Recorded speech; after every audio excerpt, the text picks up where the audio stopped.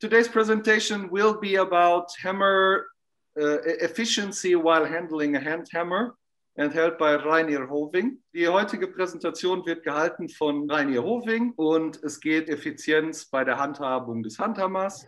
Uh, all of this, what I'm going to tell, might sound very basic to many of you. I still think it is wise to think about a basic thing like this once in a while, since basics make up the foundation which everything else is built upon. Well, firstly, I would like to state that what I'm about to share is mostly my opinion and my ideas how things could work. I'm in no way an expert on this matter. I only have my own experience and common sense. When forging by hand, there are many parameters in play, and I would like to take a look at some of them. Weight of the hammer and length of the handle, control and balance, and speed and frequency. Weight and length. If we take a look at some basic physics, the weight of the hammer doesn't bring as much to the equation as the velocity of the hammer does. This means a light hammer on a long handle can exert the same or more energy than a heavy hammer on a shorter handle can. Well, if you see the equation about the kinetic energy, you can see that the velocity part is squared and therefore it has much more weight, if you will, to the equation more than the mass does. But then there's the control. What about it? To me, a light hammer on a long handle can feel like a loose cannon where a heavy heavier hammer has a more steady trajectory. The longer the handle, the more speed you can generate, but this comes at an expense. The level of control decreases as the length of the handle increases. I think um, you all understand what I mean about that. One way to make up for this control part is to put your thumb on top of the handle. I make a lot of hammers for farriers mostly, and I've seen many of them at work. Day-to-day -day shoeing and competing, and many farriers put their thumb on top of the handle. Here in Holland, farriers even learn this in school.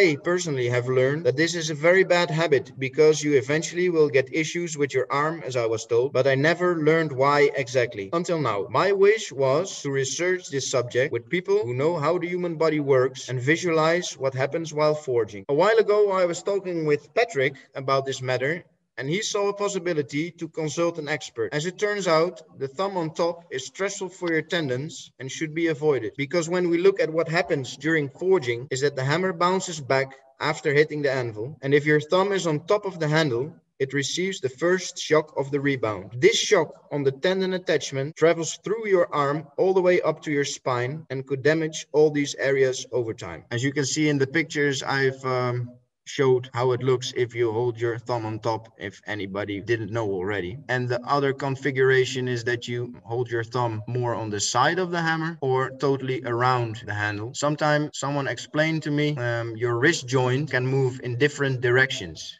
if you hold your hand in front of you with the palm facing sideways, you can bend your wrist in this manner. If you want, you can try this. The other um, option is that you hold your palm facing down and then you bend your wrist like this. And if you try this for yourself, you'll find out what works easier for you. And most people choose the second option because it's a more natural um, movement for your wrist. And if you hold your thumb on top, uh, you your wrist has to move in this direction, which is um, less natural than the other. Option. Then you have the balance, and to me that's a very important important part. We also have the form of the hammer, regardless of its weight. When the mass is close to the handle, the hammer becomes more stable, more balanced, even when hitting from an angle or with a tilted hammer. To me, this balance is very important. When the mass isn't central, I have the feeling I have to catch the hammer after a blow to bring it back to the trajectory it was supposed to follow. Somewhat the same as a light hammer on a long handle feels to me. Well, that's shown in the picture as well. Both cross peen hammers are one and a quarter kilogram. The left hammer, of course, has more mass uh, located around the handle, making it a more stable hammer. And the other one is a standard traditional uh, cross peen. When you personally, when I use the, the peening side of that hammer on an angle, the face of the hammer tends to fall further and then it twists in my hand. Then I have to catch the hammer and bring it back to the course. Well, now we come to the part I actually want to talk about speed and frequency. As we learned from the physics, speed is a big factor in exerting energy, but speed isn't the same as frequency. As I've learned from teaching, some, some students think that hitting fast is the way to go.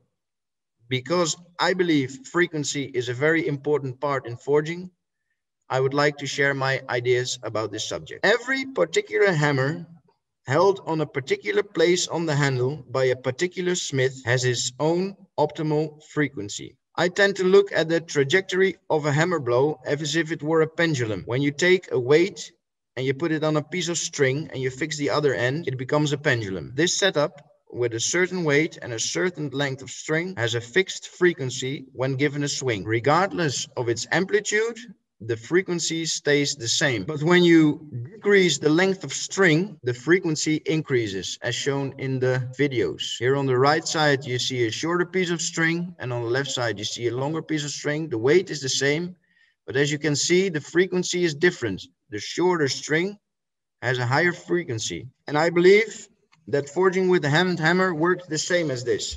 The hammer being the weight and the handle combined with your arm the piece of string. The hammer doesn't pass a center point as the pendulum does, but it hits the anvil or preferably the workpiece on the anvil. And then because of the rebound, starts its way back up again as if it just passed the center point. When the hammer reaches the highest or the dead point of the swing, it starts its new strike again. On top of the swing, the maximum potential energy is reached and the hammer has no kinetic energy. At the moment of impact, all the built-up kinetic energy is at its max. When there is no energy added somewhere in the trajectory, this movement fades out, of, of course. That is where the smith comes into play. The smith can add energy by accelerating the hammer on the downstroke. This increases its speed and this adds energy to the blow, which gives more rebound for the way up again. In this manner, the movement is maintained. As we have seen with the pendulum, the weight and the length influence the frequency. In forging, the weight of the hammer and the combined length of the handle and arm of the smith have its own frequency. If you grab the hammer closer to the head, you shorten the total length, making it possible to increase the frequency. What I have seen is that some students can't find the optimal frequency and get tired soon. I then always give them a piece of wood to hammer on because it doesn't need to be heated up and they can keep hammering. I then ask them to try a very slow rhythm and gradually increase the speed to very fast. And from there, feel where the optimal frequency is. Because that is when the hammer doesn't seem to weigh as much and everything feels easy. I've made a video um, to show in slow motion what happens on a full swing. I've used a piece of wood for a good rebound.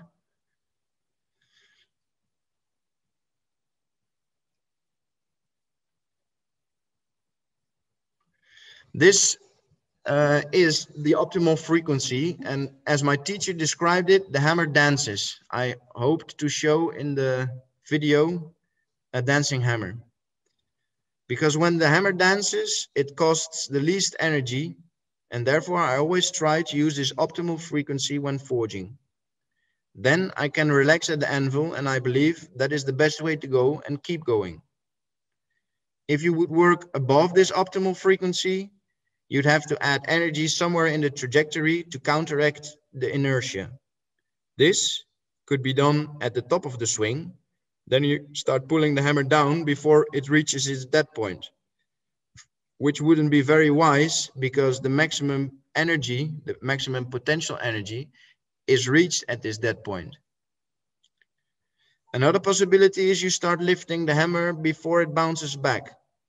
Then in fact, you stop the hammer before it has delivered all its kinetic energy to your workpiece. I agree this might sound far-fetched, but I have seen it happen on many occasions. So again, to my opinion, it is most wise to work around the optimal frequency because then you can exert the most effect with the least amount of effort. My wishes, though I hope all I've said to you sounds logical to you, it is not my ambition to tell everyone how it should be done.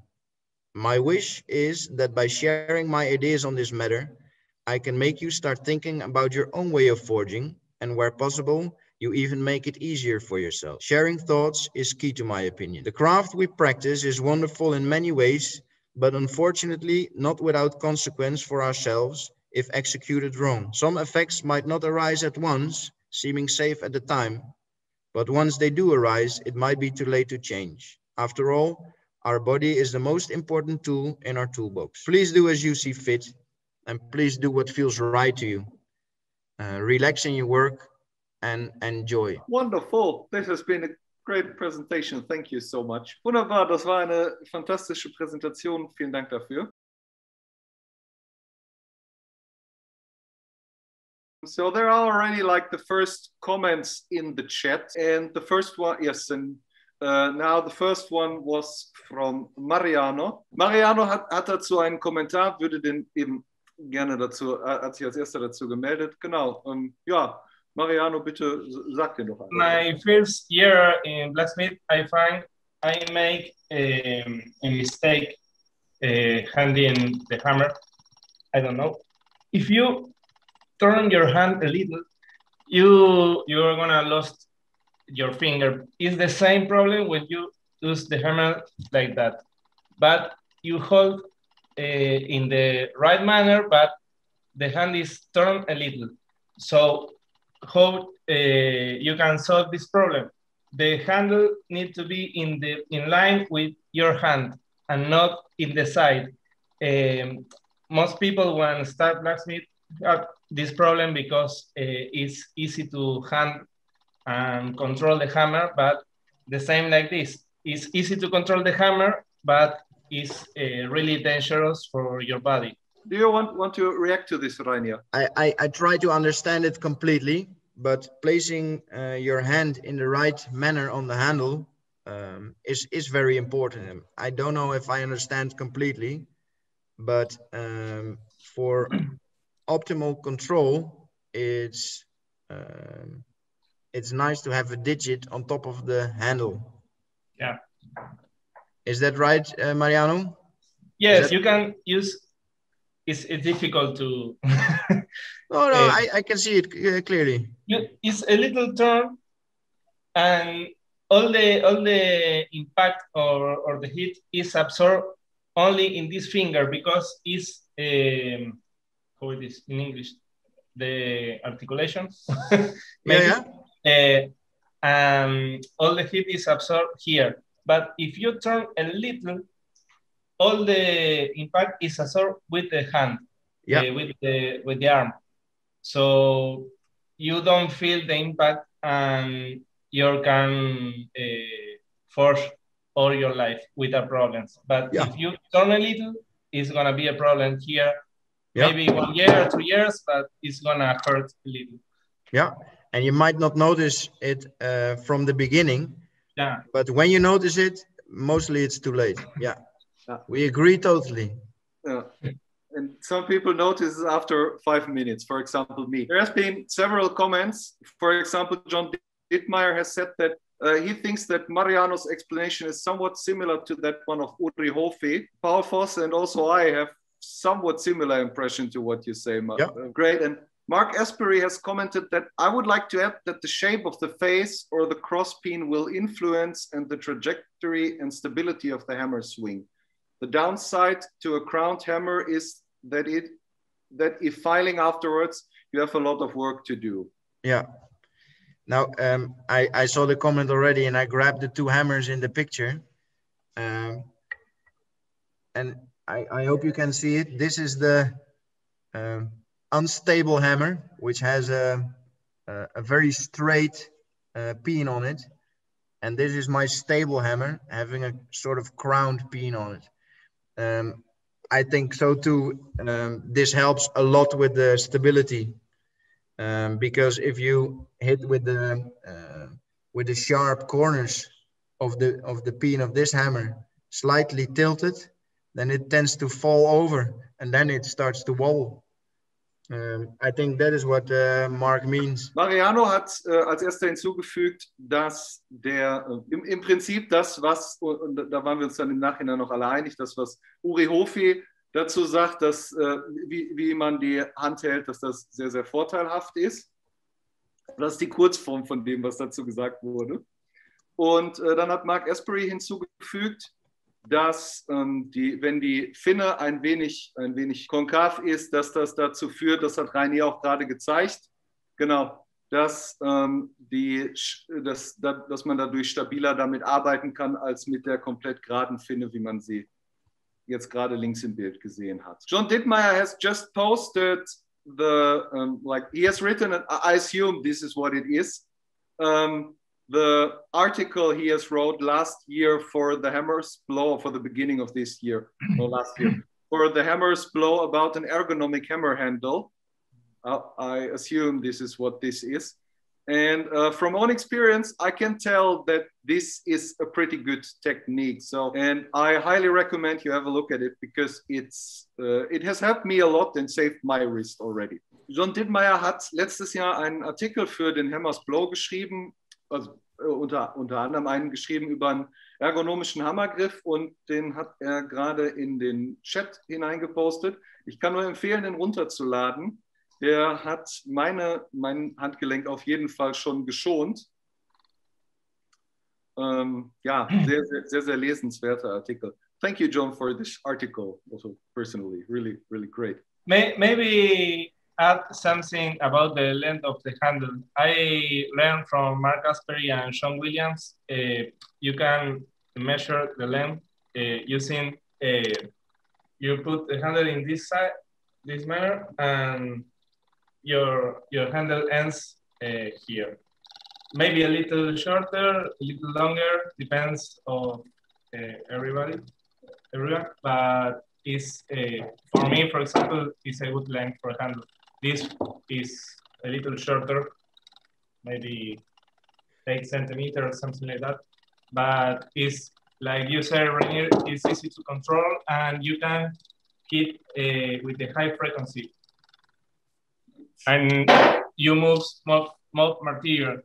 This is the difference between, uh, I find between, for example, United States and Europe. Uh, in United States, they use uh, the sledgehammer, the two-handle hammer, uh, and they use a long, uh, a long way, a long move to hit, but super stronger. And I find, for example, in Germany, they move uh, shorter, but faster. So you can hit more times, less harder, but uh, you move maybe more material. And you have a little more control. Of course, depends of practice, but it's a good difference between two countries or two sides. Well, I, I think I have to translate this. So Ähm, Mariano ja. sagte, er hat von Mark Aspery, das hat er auch gerade, und noch einem Kollegen, den Namen habe ich jetzt gerade nicht. John Williams. John Williams, thank you. Ähm, dass der Hammerstiel im, als, als Richtwert von hier bis hier geht, also von, von, Hand, von der Handfläche bis zum Ellbogen geht. Das steht auch in dem Artikel übrigens drin, den John Dittmeier dazu gepostet hat. Und ähm, danach hat Mariano gesagt, dass er da auch einen Unterschied feststellt zwischen zum Beispiel den amerikanischen Kollegen und den deutschen Kollegen, wenn ein Vorschlaghammer oder Zuschlaghammer genutzt wird, dass die amerikanischen Kollegen immer ganz weit ausholen um dadurch härter zu hauen und die ähm, zum europäischen Kollegen häufig ähm, eine kleinere Bewegung machen, dazu dadurch eine höhere Frequenz haben, also schneller zuhauen können. what's your opinion between these two techniques, the long way or the short uh, way? Well, personally, I, I use uh, I use both um, uh, both options, uh, but it depends on the work I have to do. Um, when I'm um, uh, forging uh, with a as a striker with another blacksmith, um, and I'm striking top tools, I always try to use a, longer swing because the frequency is quite low. Mostly they are um, sing, single blows. Uh, the smith uh, places the top tool slightly different and then you strike again. Uh, but when you're, uh, for example, drawing out something together, uh, the smith with a hand hammer and the striker with the, uh, with the sledge, um, I use the, the, the shorter um, grip, the more Euro European grip, because then you can uh, have a higher frequency together with two or even more people. And um, I spoke about the, the, the frequency and the, the bounce back and um, the rebound, sorry, and uh, that the hammer then travels up again. Uh, but when using the European technique for striking, uh, you uh, use a, a, tilting movement um, uh, added to the rebound. So when, when the hammer hits the anvil, it doesn't travel the same way back up because when you're striking with two or more persons, you can't be in the in the same plane because then the hammers will hit each other, and then you um, uh, speed up the uh, the process of going up by tilting the hammer with your other hand, with your with your in my case my left hand, and then it follows back to the top, and it's like a, a, a yeah not really a circular motion uh, but you have to be out of the way for the other hammer. And then by tilting, you can be very fast. That is what I think. okay, so I, I, I, do my best to translate this. So, uh, Mariano fragte nach Reiniers Meinung, ob die eine oder die andere Technik, Technik zum Zuschlagenden besser geeignet ist. Und er sagte, ähm, es hängt davon ab, wofür. Er benutzt meistens, wenn er als Zuschläger arbeitet, mit einem Setzhammer oder einem vergleichbaren Werkzeug die Methode. So you're using this method which is like with longer strokes, right? Ja. Mhm. Äh, er benutzt die Variante mit den längeren, äh, mit dem längeren Weg, weil dann die Frequenz besser passt. So because the frequency is better fitting, right? Yep. So. So this, so this would be in short. Robin Mood has said um, you have uh, uh about this farrier discussion. You have to consider that most farriers stand in front of their anvils while forging, what makes quite some sense when forging a horseshoe. Uh, I, I, translate into German like, like in, in bits. Um, man, man, man, muss um, im Kopf behalten, dass Hufschmiede meistens uh, vor ihrem Amboss stehen was, äh, während sie schmieden, was für ein, äh, was für ein Hufeisen. Hufeisen auch sehr passend ist.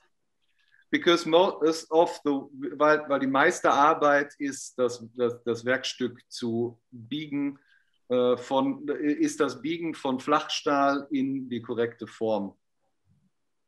Und äh, Arbeiten wie ähm, ja, mit Setzhammer, Setzhammer Vertiefungen machen und schneiden. So, because most of the shape is bending flat stock into the correct shape and jobs like fullering and clipping. A long handle and the thumb up grip we consider as wrong is very comfortable when using a light hammer and having reach inside the horseshoe. Ein leichter Hammer mit den Daumen oben drauf ist sehr, äh, den, den, den wir als falsch ansehen ist sehr komfortabel, wenn man einen leichten Hammer und äh, in, den, in das Hufeisen hineinkommen muss. Would you like to respond to this question, Rainer?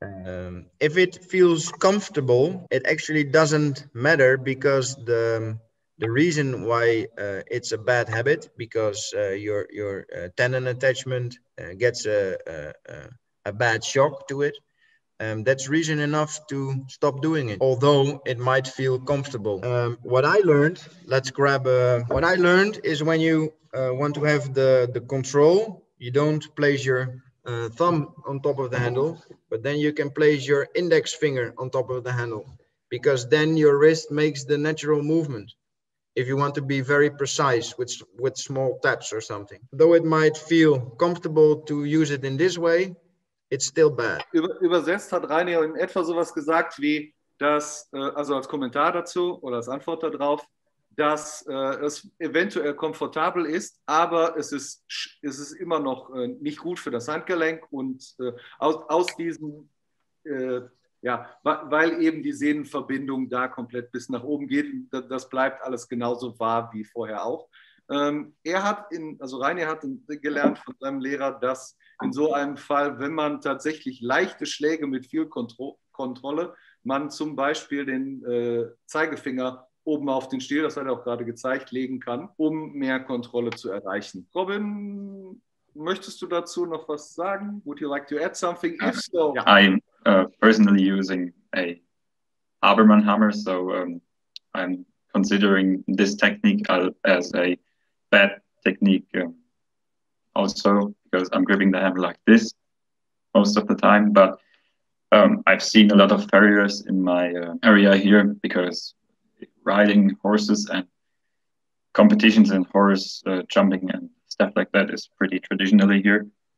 And um, the horseshoeing here is uh, done also pretty traditionally, mostly um, without forging the horse through uh, while shoeing the horse at the farmer's um, house. They forge it in their home forge and just bring it there, but the shaping is done over there. And if I would use my hammer here and having to use in uh, having to get inside the horseshoe, I would have it to tilt like this since the excess length of my hammer is coming out away from me, most of farriers do it like this and it's coming towards them like this. And that's just oh, everything I wanted to add.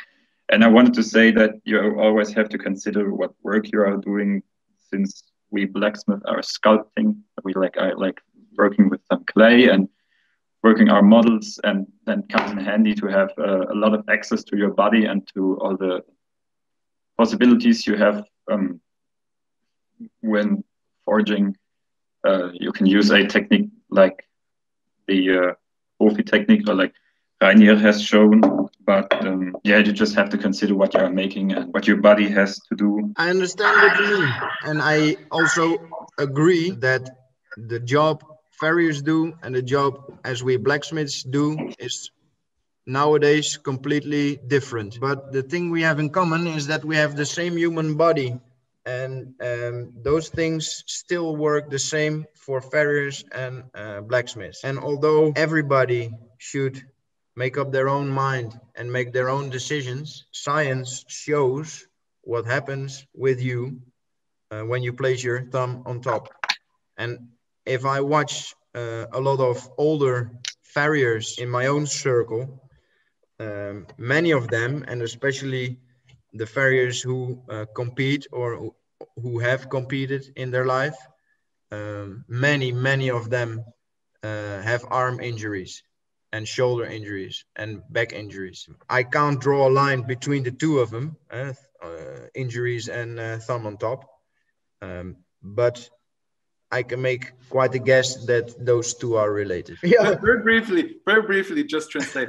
Ähm, genau. Robin hat dazu gesagt, dass ähm, man dabei beachten muss, dass die, eben die Arbeit, die Hofschmiede tun, eine etwas andere ist, dass da andere, andere Anforderungen sind an das Ergebnis der Arbeit und dementsprechend eventuell eine andere Technik. Also er hat dann auch gezeigt, dass man je nachdem, wie der Hammer, in, sein Hammer zum Beispiel, durch das Handgelenk blockiert würde ähm, aber das für Hufschmiede unter Umständen gar nicht so der Fall ist.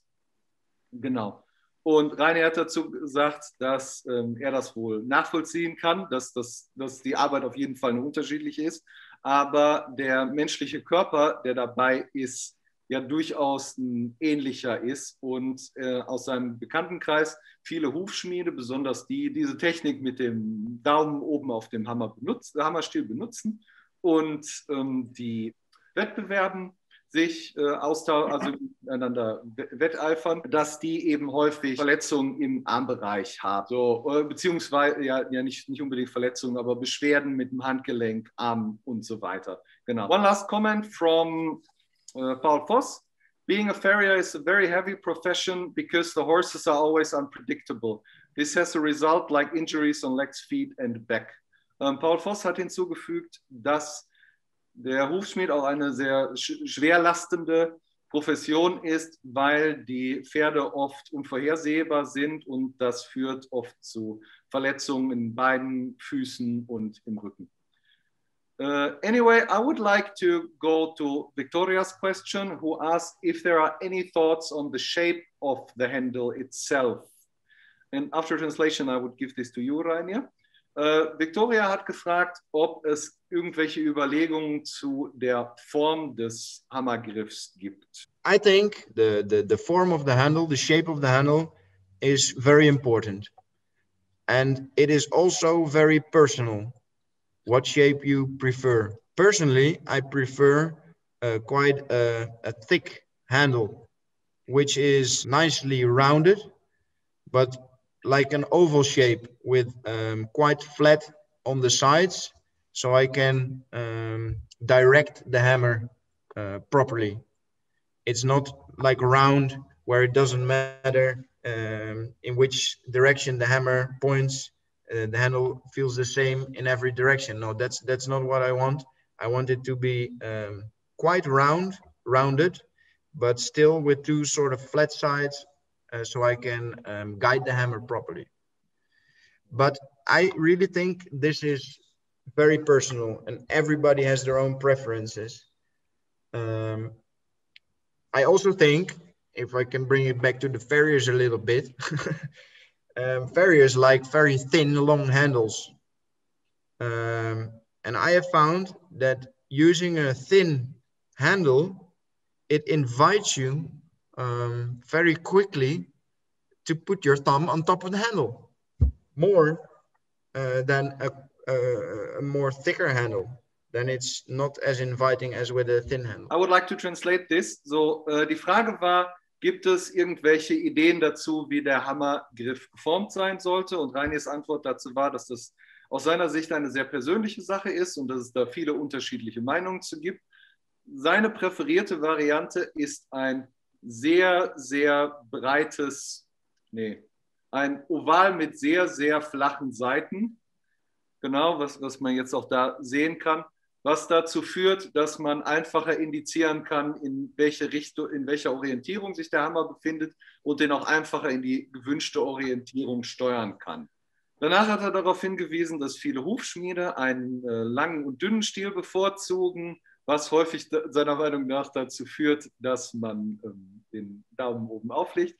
Und ich würde gerne noch hinzufügen, dass das auch häufig dazu, also bei mir zumindest dazu führt, bei einem sehr, sehr dünnen Stiel, dass ich fester greife was unter Umständen auch nicht so besonders förderlich ist. So, and additionally to what Rainier has said, I would like personally to add that I find with thin hammers, often it is such that I tend to grip them tighter, which is also not the most beneficial for the hand because uh, every, like uh, every, every, part, the hammer handle and uh, the the hold here and the wrist and all the way up, there are buff buffer zones for the shock to travel along. And the less of the shock reaches further, the less damage is done to your body. Like the, I, I, I talked with my physiotherapist about these things, and he said he told that one can imagine it like a bridge over which people go. It's a bit similar with shock. If little child goes over the bridge, it's less impact than if big trucks go over the bridge. And over years and years and years, all the load on the bridge adds up, and it, in the end, the bridge needs to replacement. Obviously, the body is not so easily replaced, but it suffers the same damage over time. Yeah. I go to translate this in German. Um, genau. Uh, ich, ich habe mich darüber vor kurzem mit meinem Physiotherapeuten unterhalten und es geht Äh, und er hat gesagt, man kann sich das so vorstellen, dass der Schock, der beim Aufprall des Hammerkopfes entsteht, den, durch den Stiel ins Handgelenk und den ganzen Arm entlang läuft. Und je weniger von dem Schock weiterkommt, desto besser ist das. Und wir hatten dann das Beispiel von einer Brücke, wo mal ein kleines Kind drüber geht oder mal ein paar LKWs drüber fahren. Und die Belastung ist natürlich eine andere. Und über Zeit summiert sich diese Belastung auf der Brücke und irgendwann muss die Brücke halt ausgetauscht werden. Mit dem Schock im Verhältnis zum menschlichen Körper ähm, verhält sich das relativ ähnlich, nur dass man den Körper schlechter austauschen kann. Mark Aspery has also has another comment. Let's talk about grip intensity. I like to think of my grasp on the hammer as caressing the handle. I try not to grip with a strong hand. Mark Aspery hat einen weiteren Kommentar wenn man über die Intensität des Griffes oder die Festigkeit des Griffs spricht, äh, sanft. Also nicht, nicht, nicht besonders, äh, nicht, nicht würgend, sondern eher eine, ein, ein sanft, ein, eher ein vorsichtiger Griff ist vielleicht ein ganz gutes Wort und äh, nicht mit einem, eben nicht mit nicht den Griff äh, komplett ja. ganz, ganz feste. Ja. Yes. Thank you for the comment. My, my teacher, um, he explained it to me um, that during forging wanted me to hold the handle very lightly. And he said, when I'm at the top of my swing, I only feel the handle with the tip of my thumb. And when it falls down, I slightly grip it and then I hit the workpiece, I release the hammer handle again, and it's, it's, it's very lightly in my hand. He never did that to me, but his teacher um, uh, sometimes stood by him when he was forging, and he grabbed the hammer on the uh, top part of his swing, and his grip would have to be so light that his hand slid off the handle but still made the same movement. Can you understand what I mean? So in German, auf Deutsch. Äh, Rainer hat dazu hinzugefügt, dass er von seinem Lehrer gelernt hat, dass der, ähm, dass der Griff durchgehend so leicht ist, dass der, der, dass der Hammer eben nur geführt wird und dass äh, der Lehrer seines Lehrers bei, bei gesagt hat, man muss an der obersten Stelle den, äh, den, den Hammer aus der Hand nehmen können. Und Mark Espery fügt noch hinzu, dass der, äh, die, die Form des Griffs und die Griffintensität zusammengehören.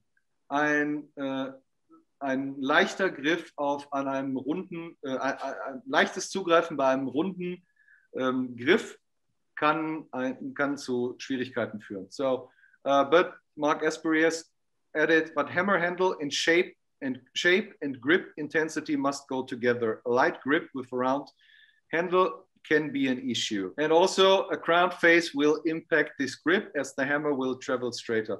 Und auch ein ähm, abgerundeter, eine abgerundete Hammerbahn will den, wird den Griff beeinträchtigen, weil der Hammer ähm, gerader, auf einer geraderen Bahn unterwegs ist. I would like to come to the last question for today, which has been posted by Job van der Zijden.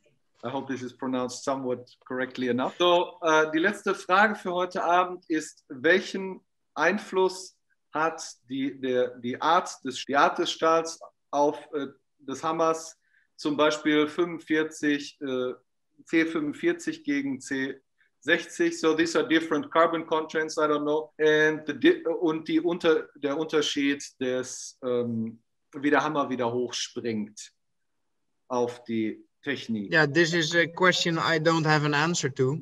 Only your question I have an answer to. I, I believe uh, C45 is called 1045 in the United States, uh, as well as C60, that's 1060, I believe. Um, C60 gives a, a harder hammer. But I don't know if there is a difference in rebound. The, the hardness of uh, C45 is more shallow than the hardness of C60. Um, but I have hammers uh, from both steels and I never um, felt any change in rebound whatsoever. But maybe there is, but I can't feel it maybe it could be measured, maybe it's quite small. I, I have absolutely no idea. Wunderbar. There is, uh, Mariano has written also that he would have another thing to add about the hammer handle shape. Mariano hat noch eine Anmerkung zur Form des Hammerstiels. For, for practice, uh, for a light uh, handle, I, when, when it's in the top, I twist the hammer and hit with the other side and twist again and twist again. This is a good practice for holding uh, lightly. So you, with the time, you don't try to catch super stronger because uh, you you are not catching stronger. And with the carbon, for example, this is from my steel, and you really notice the difference between a high carbon steel uh, because this is uh, absorbs more the, the heat and turns to take a little more uh, to go upside again. So this is for me the only difference I find. Okay, uh, are, are, you alternating with this practice after every blow? Sometimes, uh, one day. Uh, Mariano sagte, dass er, er, er das, um die Griffintensität zu üben, ganz praktisch fand, mhm. dass man zwischen Finne und zum Beispiel, er hat einen Kugelhammer gezeigt oder einen Ballhammer, wie auch immer der dann auf Deutsch heißt, äh, Ballpeen Hammer. Ähm, dass, der, dass er zwischen Finne und Hammerbahn wechselt nach jedem paar Schlägen oder nach jedem Schlag, je nachdem. und das dazu führt, dass der Griff automatisch leicht bleibt, weil man eben ständig wechselt. Und danach hat er noch eine Anmerkung zu dem, ähm, ob, der C, ob sich ein C-Stahl oder ein anderer Stahl auswirkt. Und er sagte, dass You down the frequency of the hits because it tends to absorb a little more the impact, so deforms the hair feeling. Uh, so, for example, with this handle, maybe I can hit one more time in the same uh, in the same time. Okay, well, ähm, genau. Also der, der Unterschied, den er festgestellt hat zwischen einem Hammer, der komplett aus einem C-Stahl ist und einem, der nur, also der auch wo der, der Körper aus weicherem Stahl ist, ist, dass die Frequenz dabei eine andere ist. Und zwar ist die Frequenz ähm, von dem äh, gehärtet, also von dem, von dem C-Stahl eine ähm, etwa, etwas schnellere. Weil äh, nach seiner Erfahrung der Schock, also der, der, der, der Rückschlag des Ambosses absorbiert wird, besser dadurch. Äh, und es gibt noch zwei weitere Kommentare, die ich gerne noch vorlesen will. So there are two more comments from the chat, uh, which I would still like to read, which are from Charlie Page. I don't have enough experience, but I've heard many times that the hammer has to have a little less hardness than the anvil for not damaging the anvils. So it's mostly used 1040, but I don't know about difference in the rebound. Ähm, genau. Er sagt, er hat nicht besonders viel Erfahrung damit, aber er hat gehört, dass äh, der Hammer weicher sein sollte als der Amboss, um diesen nicht zu beschädigen. Äh, deshalb nutzt man dafür meistens 1040, was auch immer das in der europäischen Version ist. C, C40. Okay, this, this, okay C40. Danke. Thank you. And uh, Anne Fleek said, I'd say the hardness of the hammer makes hardly any difference since your workpiece is not is hot softer than the hammer. Uh, Anne Fleek sagt dazu, dass die Härte des Hammers wahrscheinlich einen kleinen Einfluss hat, weil das Werkstück warm sowieso weicher ist als der Hammer. The next, uh, thank you, Reinier, for holding this treff the second time. The future treffs are in planning. The next one is confirmed in the 19th of April and will be held by Manix Callier from Belgium, who uh, will talk about, he, he has background in manufacture, like, like uh, computer assisted manufacturing. And he will talk about how to bring it from this to like from the CAD program into the forged reality piece in whichever order he will then talk about it. That's what he told me. So in German. Ähm, ja, vielen Dank für den heutigen Treff, Rainier. Ähm, und die nächsten folgenden Termine sind teilweise auch schon geplant. Es wird am 19.04. von Manix Callier aus Belgien, auch bekannt als Mechanics, eine Präsentation dazu geben. Der hat einen Hintergrund in computerassistierter, ähm, ja, computerassistierten Arbeiten mit Stahl. Und da wird er eine Präsentation dazu halten, wie man vom von der CAD-Zeichnung bis zum fertig geschmiedeten Werkstück in einer Reihenfolge, die er passend findet. Das hat er mir zumindest so gesagt. Yes. Next treff will be uh, again on a Monday at the same time, uh, 19, but by then it is CEST because we will switch to summertime like over next week or something. This can be found on the website. I don't know how this affects other people in the world. I know some change the time zone, like, like the time for summertime, some don't. I don't know how this affects everyone individually. Ähm, der nächste Treff wird auch wieder um 19 Uhr sein, dann allerdings CEST, also Sommerzeit. Ähm, wie auch immer das dann die einzelnen Teilnehmer Effekt, äh, äh, betrifft. Genau, ja. So, and now that so many people are present, I would like to say again thank you for the people who have started to become the Jungschmiede team.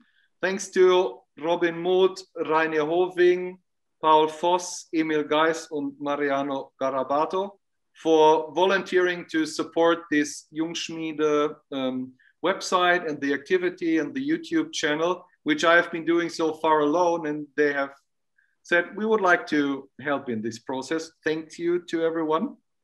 Ähm, ich würde jetzt, da wir jetzt inzwischen mehr sind, auch gerne nochmal auf Deutsch dem Jungschmiedeteam, was sich jetzt letztlich äh, geformt hat, danken. Namentlich ähm, Rainer Hoving, Robin Moth, Paul Voss, Mariano Garabato und Emil Geis.